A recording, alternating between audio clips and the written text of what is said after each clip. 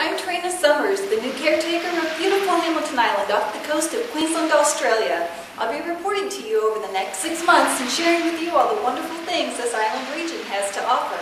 Now of the 74 Whitsunday Islands, Hamilton Island is the largest inhabited island in this region.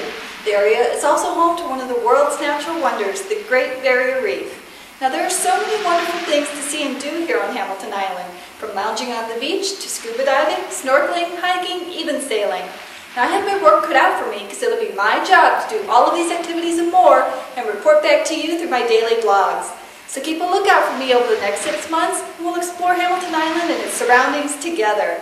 Now, if you'll excuse me, I need to get back to work. Mike, Mike, wake up. I just had the most amazing dream. I dreamt that I had the world's best job.